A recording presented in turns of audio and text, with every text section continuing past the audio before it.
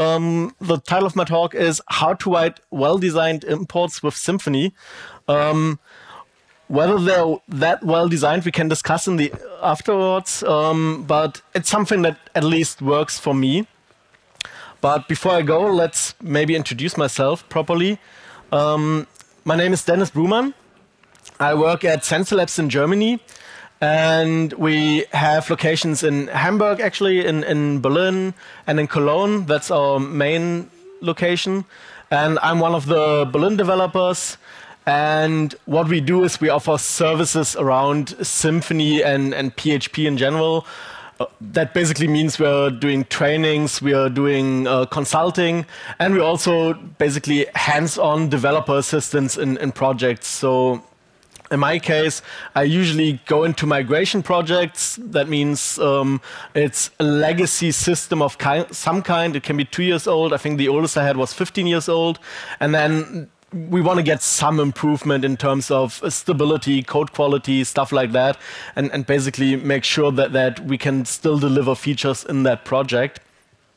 And as part of that work, I, I kind of tried to figure out like, is this something that other people might be interested? And I stumbled upon uh, the, the batch processing in a few of my last projects where I noticed that they're an integral part of the, the business uh, domain basically in, in those projects. But it was something that was built uh, on the side, just ran, and everything was fine until the business changed and, and, those imports didn't work anymore. And then it was very apparent that those are business critical because other teams couldn't work and those imports had to be finished by 6.30 in the morning. And developers usually tend to show up at 9 or 10ish, which is kind of an issue. Um, yeah, so, so I figured, yeah, may, maybe this is something I should look into and, and maybe um, I should give my insights to other people. And this is what I'm here for. To be quite honest, most of the stuff I will tell you is, is basically not my idea. It's, it's something that, that I took from the Java specification request 352 batch applications for the Java platform.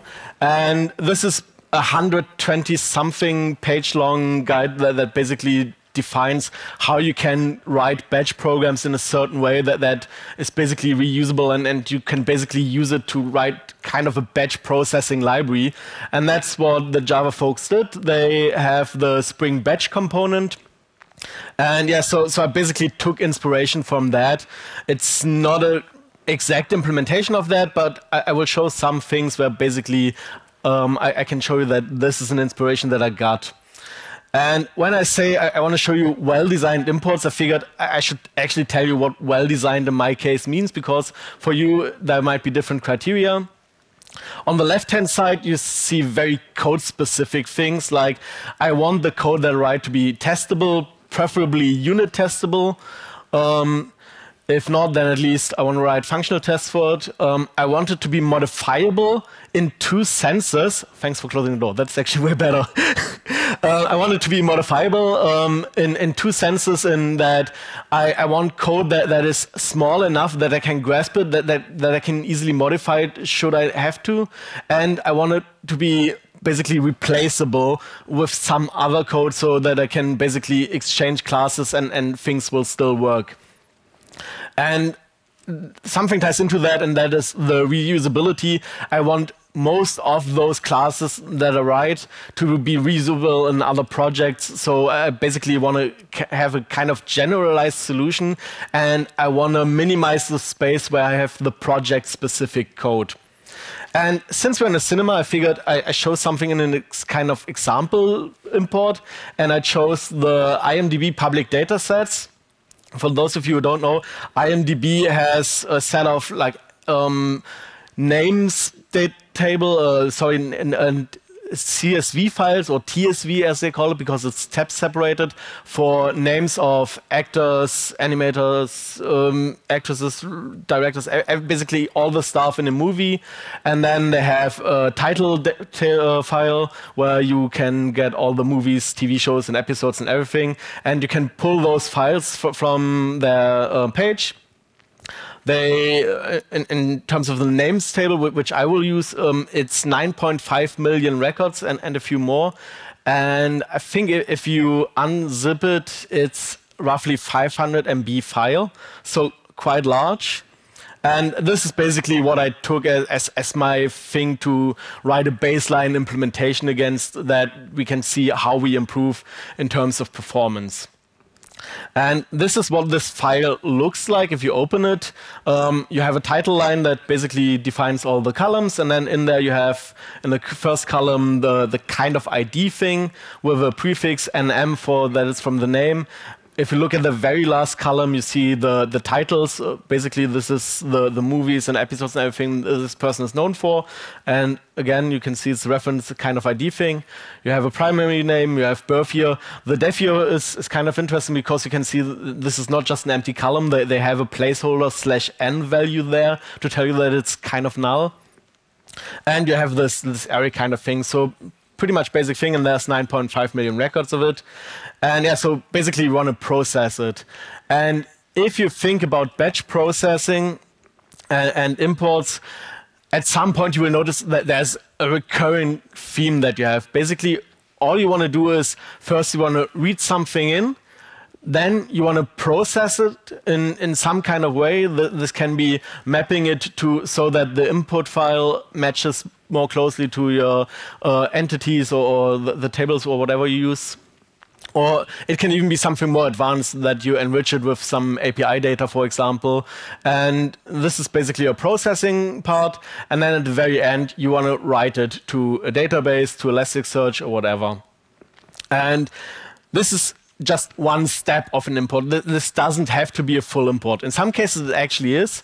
But you can also imagine if you have, for example, the, the name file and the title file, and, and they reference each other, like we saw here, that you basically want the step where you read in the names process them, write them maybe to an intermediary table, and then do the same for the titles.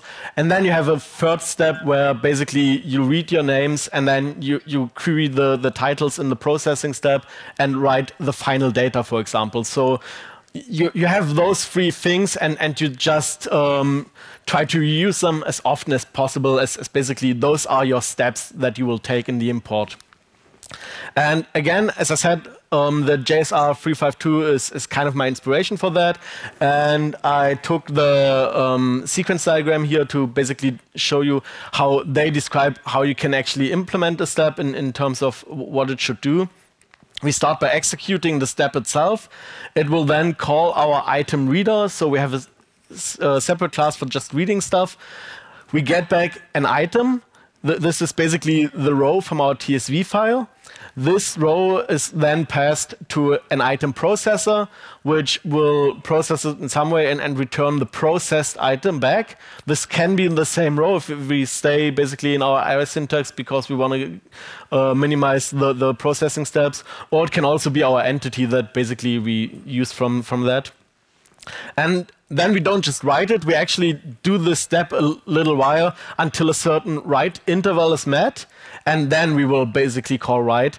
And the, the reason for that is that if we just do read, process, write, then basically we would not be able in our writer to, to have something like transactions, for example, um, because that logic um, would require us to, to know more items. So it would basically seep into our step logic, which we want to minimize. We want to actually be, uh, keep the transaction and all the writing logic in our writer, so we actually have to pass in multiple files. So since it says code talks, this is a very code-heavy talk. I, I will go to basically the example code, and this is the step code that we just saw. Um, let's start with reading and writing. We initialize both our reader and our writer by opening them uh, with a context.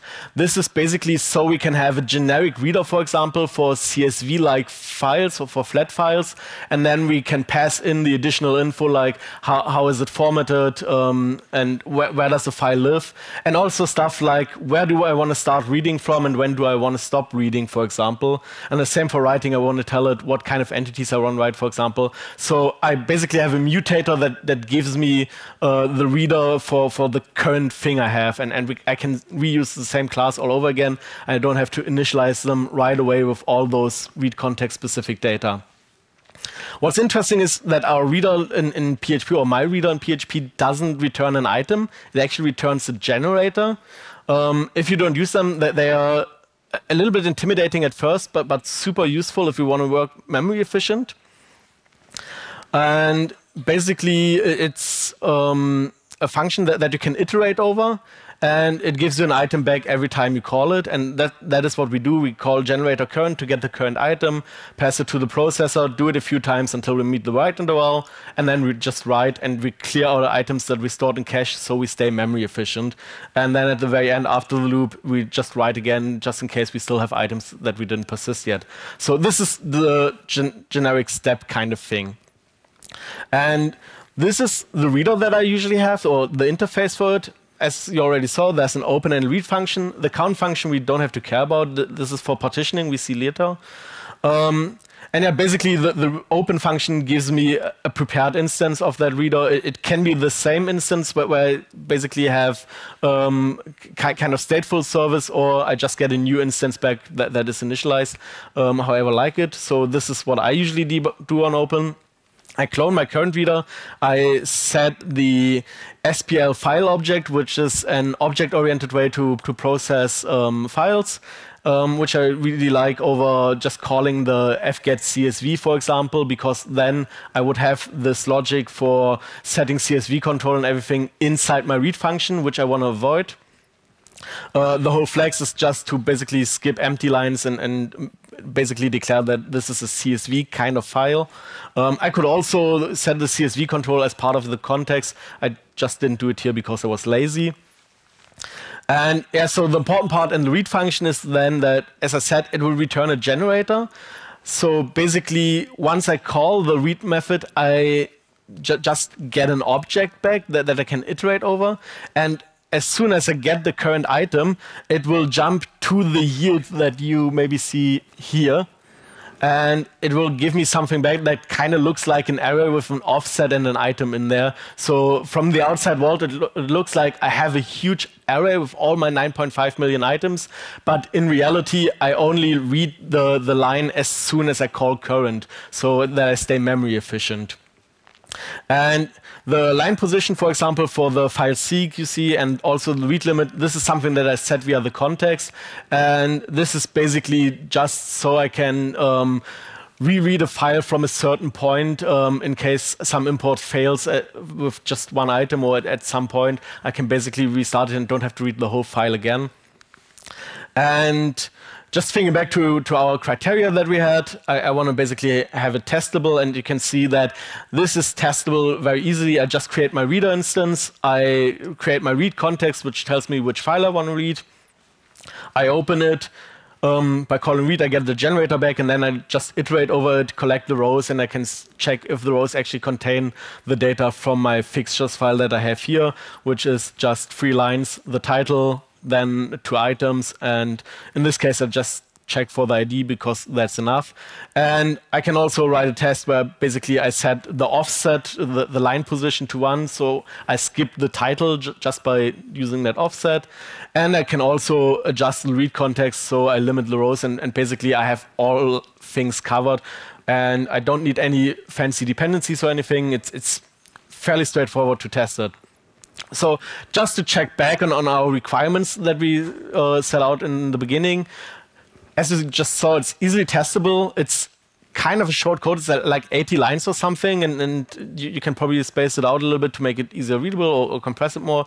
But doing the uh, using the interface allows us to replace it with any other kind of reader, for example, an XML kind of reader or something like that. And yeah, it's it's reusable because it's just flat file reading. It's very straightforward. We can't really tell how fast it is. I mean, it's just reading stuff in. Probably it is kind of okayish, but it definitely is memory efficient because we use generators, for example, to to not just read in the whole file. Um, Obviously, if you have other file formats, it might not be as easy. XML, for example, is, is not very easy to process. You can do it as well with a pull parser, for example, XML reader, so you can also read it line, well, not line by line, but element by element. But yeah, it should be straightforward. So I will rush over the next two files because they are not that interesting. The processor just takes the array that we got back, creates an entity from it, and yeah, it's testable. Just put in an array, get back an entity. That, that's easy to test. I can replace it with any other processor that I want, depending on my needs. Obviously, the more complex my processing part is, the the more I have to ensure that it's testable and everything. But it's pretty much uh, testable. The code itself is not reusable. This is where I store my project-specific code, basically in the processors. So I'm fine that this kind of processor is basically tied to my current project because yeah, this is where I want to keep the code. As long as it's just in the processor, I'm fine with it. And with the writer, you basically see the same pattern that we saw before. Um, we loop over the items, and then once we hit a certain batch size, we basically flush our entity manager. In reality, in most imports, you probably don't want to use the entity manager. You maybe want to use the DBAL, but um, just in case you, you want those relations and want to work with your entities, um, you, you still can, and it should be fine. And basically, the flush and clear is, is kind of our transaction thing that I mentioned before. We wouldn't be able to have this in here if we just read in a single item. That this would move into uh, either be item per item flush, or we had to move it in, into um, the step. All right, so yeah, testable. Probably not that much, at least not unit testable, because we have the entity manager and the database and everything that we have to look out for. But we can basically replace it with any other writer if we want to write to Elasticsearch. And the code is simple enough that even this code we can modify um, if we just want to have some fancy stuff like valid, well, not probably validation, but um, we, we want to use um, some schema related things with the database, for example. And yeah, this is reusable because it just takes an entity manager, persists whatever entity, and uh, as long as I use Doctrine in my project, I can just reuse it. So this is kind of my baseline implementation. I have my three classes uh, for reading, writing, and processing, and I have the step class that pulls it all together. And if I then write my command using this, I kind of get this output.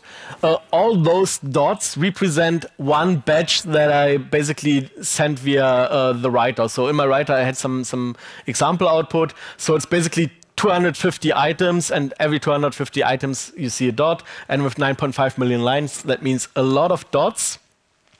And this is the, the final output that I collected with the Symfony stopwatch component.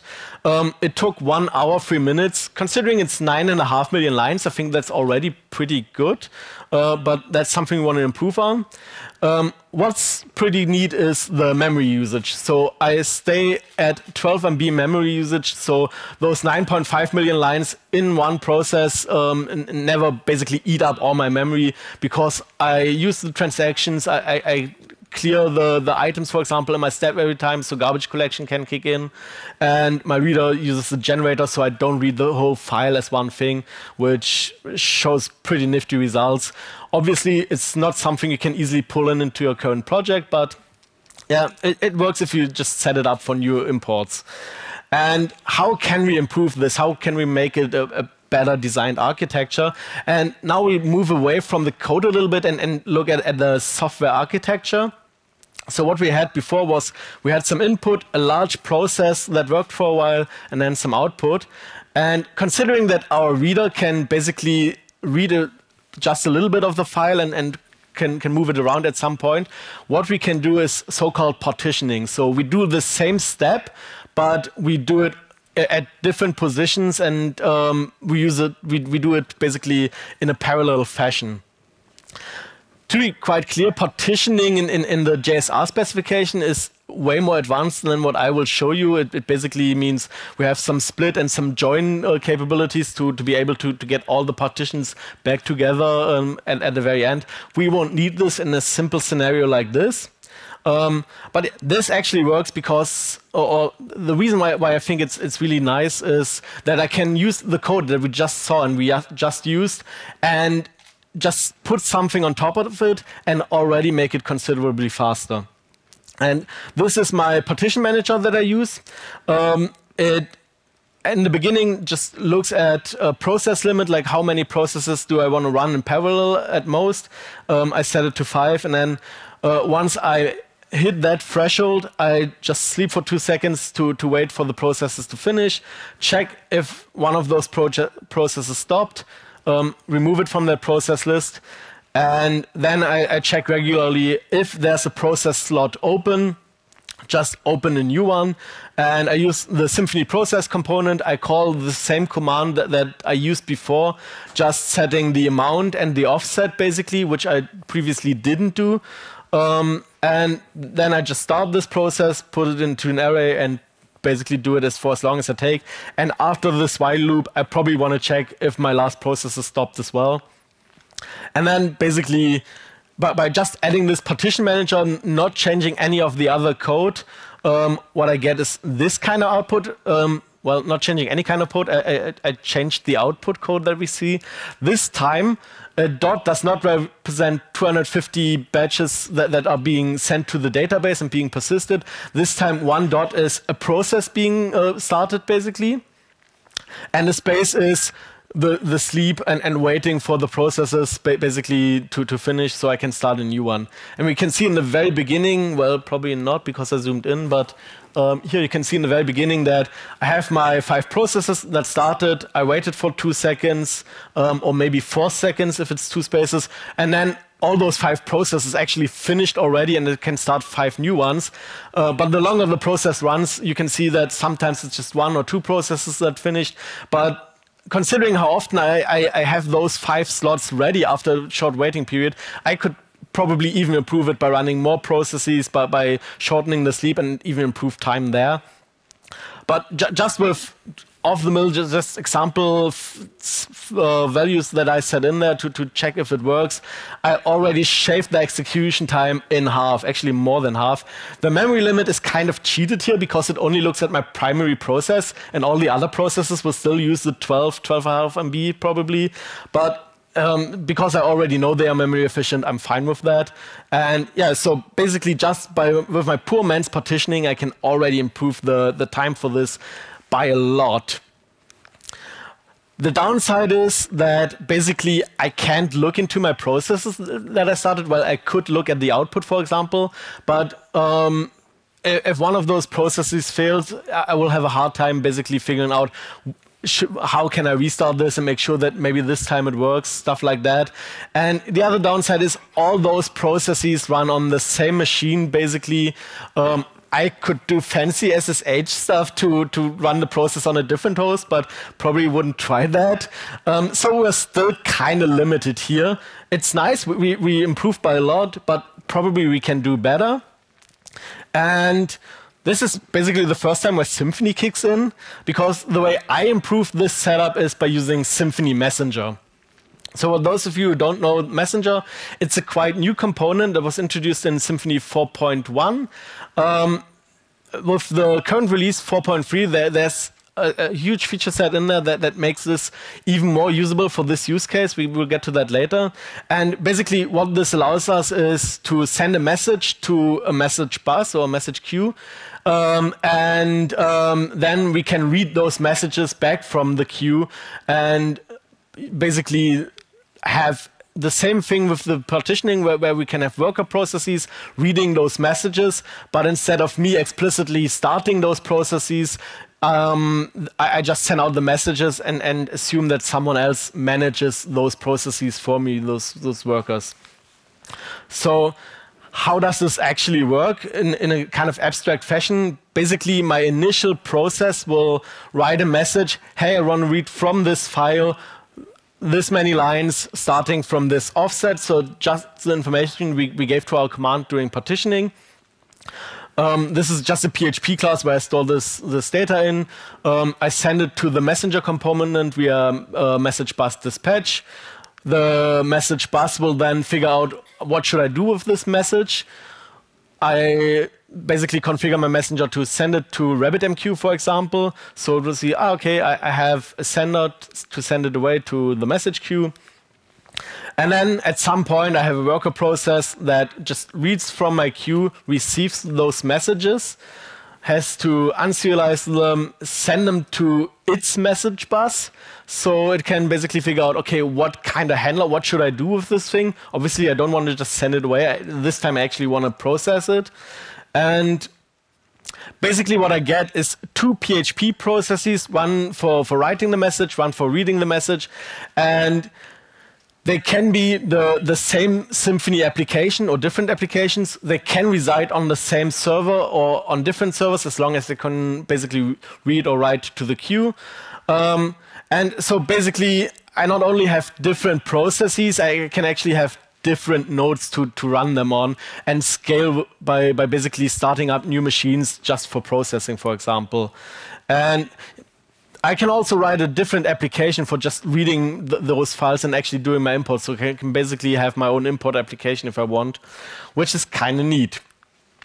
So just to, to give a better example of how this looks for partitioning, basically I have my initial program that, that I started to, to basically get, get the file count and then chunk it up to, to manageable bits.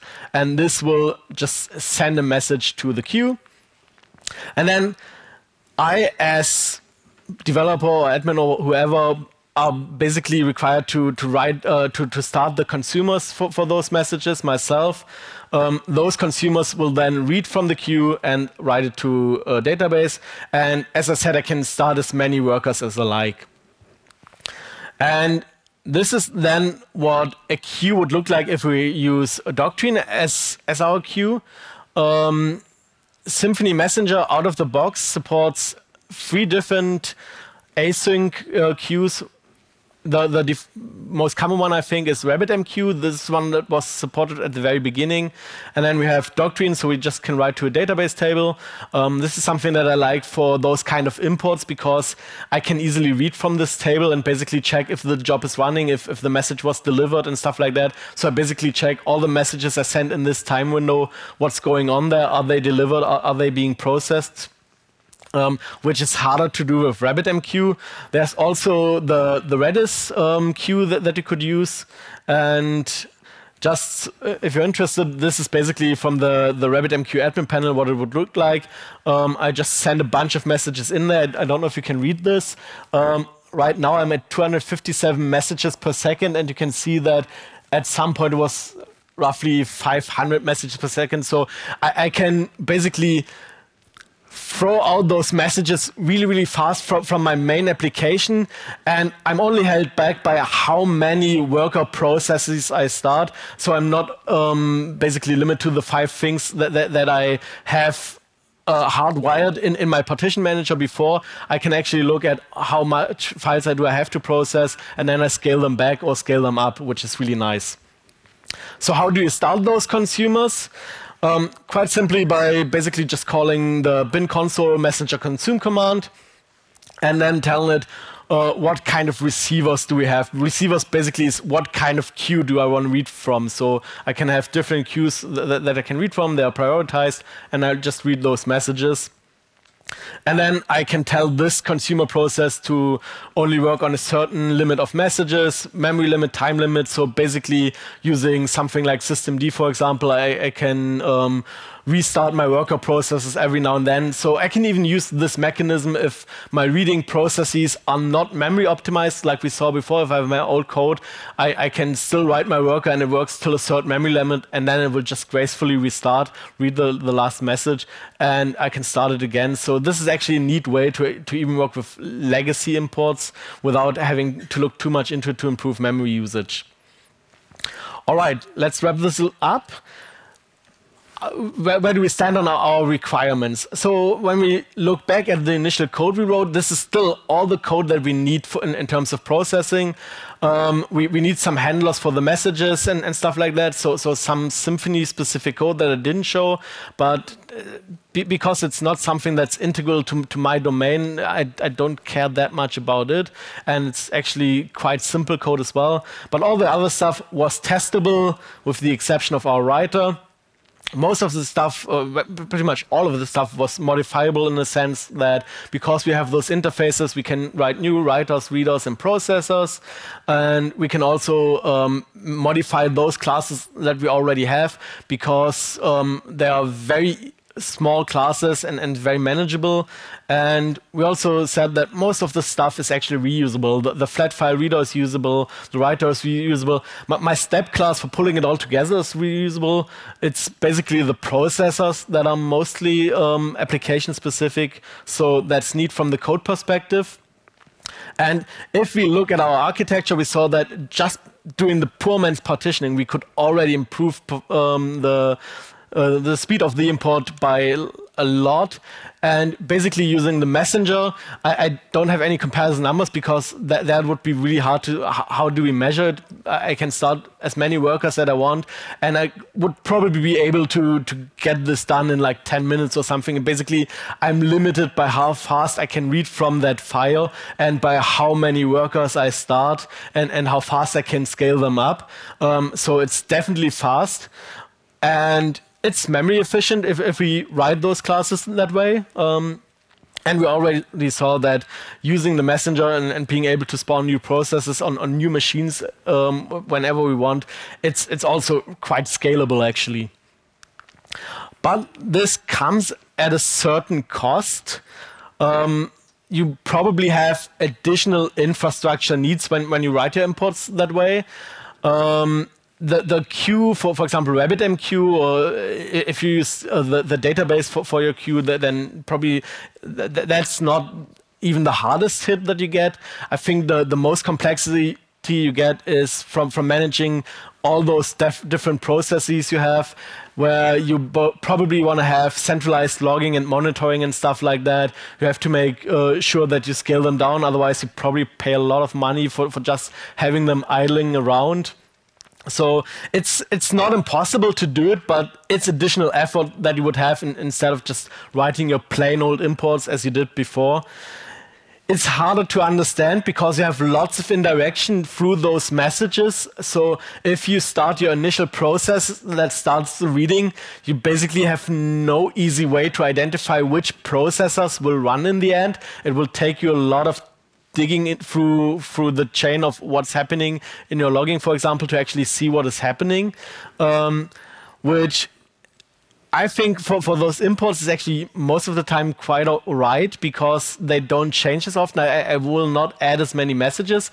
Um, I'm less hesitant to do it there than I would be in my application code, for example, to, to go heavy on a message-based infrastructure. I, I, would start slowly there, but with imports, it, it works okay but it can be something that, that can be difficult, especially when onboarding new developers. Um, the biggest downside for me is the concurrency and the side effects. Obviously, if I have um, different processes that work on the same file or that uh, basically write to, to the same entity in my database, I can shoot myself in the foot quite easily. Um, and in the beginning, it's very likely that will, you will do. I, I know when we first started doing that in projects, we basically, the, the first one or two months was just debugging stuff and, and, and, fixing issues we had, mostly from concurrency and side effects, we, we just didn't think about because in the beginning we didn't have to. Again, it's it's not something that's impossible or anything, but you should be aware that this will be an issue in the beginning, and you should have a kind of failure culture where it's allowed to actually have this thing fail a few times, and maybe you want to be more cautious in the beginning. And what, what I mentioned before, it, it's it's kind of hard to retrofit, especially the first part into your existing code, um, because usually the, the, the old code is quite entangled, and and and you uh, can really easily extract the writer, for example. Um, but since the the um, import and, and batch process usually are quite isolated, those are things that I think are, are kind of okay to rewrite in most cases, in, in, instead of just doing an easy migration. Um, or you can just start with a very simple process, uh, build up the, the, kind of infrastructure in terms of writing the step and, and the basic classes that you want to reuse. And then it will be a little bit easier for the following um, more complex imports. But yeah, it's something to be aware of that it, it's a lot of work. And this is basically it for now. Um, th there's lots of things that we could actually discuss. I hope you have questions. Otherwise, if you don't, then I will just go into more details on what kind of things you might think about for the message-based infrastructure like this and, and using the messenger imports. But yeah, shoot with questions if you have one. It doesn't look like there are any. Okay, um, in that case, if if you can think of something, just just raise your hand. Um, in that case, I will just go. Um, and explain one downside that, that I basically di didn't even mention in the talk um, that, that, that I just glossed over when I use the messenger, I kind of have a fire and forget system. So I send my message to the queue, and then my parent process basically doesn't know what happens with this message. And especially with imports, this is usually not what I want to have. I want to have kind of, kind of reporting at the end, how many lines I processed, how many stuff I inserted, and, and stuff like that. So obviously that that seems like a huge shortcoming, and there are a few ways around this. Um, to go back to the JSR specification, they actually have a huge part where they explain how you basically have logging around your jobs and your steps and steps step executions and basically um, you write to a database table, um, for this job, I started these steps and this is the current state. And I can use this separate logging table to, to basically um, figure out, have my steps actually finished? Is this job done? And I can do this uh, not just in my parent process. I obviously have to write this um, in when sending out my message, when receiving the message, or when I'm finished handling the message. And then in the parent process, I can check back. Um, this is one easy way to, to get around this issue. Um, in some cases, I don't even have to do this. If I use Doctrine as my, my queue, then I can just look into that table. And in, in very simple scenarios, this might be enough for me. In other cases, this might be a little bit clumsy for me.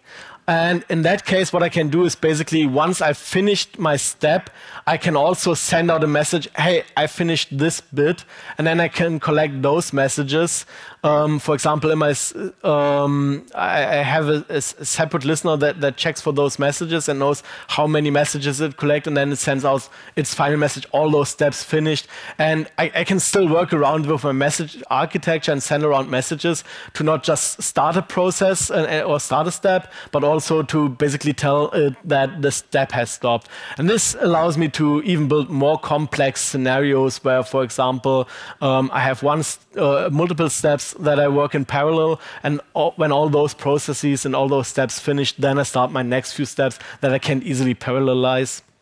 Um, so it is doable, um, but again, it adds to the complexity that you have, and and so um, you you might be cautious, or, or, you should be cautious in the beginning to to not just send out messages all the time, and, and maybe start with a simple logging approach.